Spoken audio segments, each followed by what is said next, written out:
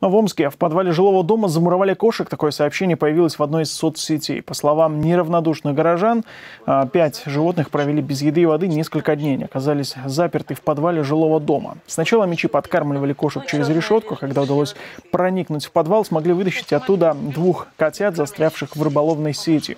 Третий погиб. Еще двух кошек поймать не удалось. Возможно, они самостоятельно выбрались из подвала, так как железную решетку, которую, по словам старшей по дому, установили три года назад, уже кто-то сломал. Волонтеры все это называют э, жестоким обращением с животными, а, впрочем, старшая по дому с этим не согласна и уверяет, жильцы кошек в подвале специально не замуровывали.